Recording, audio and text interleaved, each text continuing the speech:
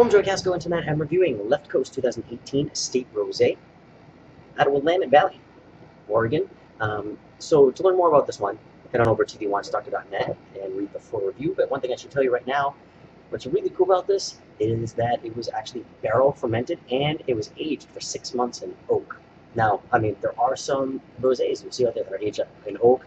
Provence has a few of them going on, but you don't see it a lot. So um, kind of different, right?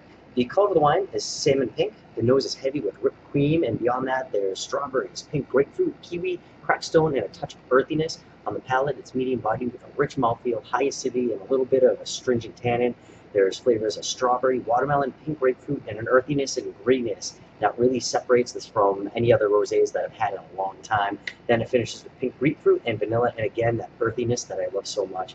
Uh, I think it's just awesome, but it's not for everybody really. I mean, for your average consumer, it's probably going to be like, uh, I don't like this. Um, but for a wine appreciator, somebody that, you know, is really into wine, you're going to love this and appreciate it. So for, hold on a second, what did I give it? I give it for 24 bucks. I give it a 3.5 out of 5 in prices quality. That's between satisfying and recommended. It's delicious, guys. So if you see it, pick it up, something different. All right? Cheers.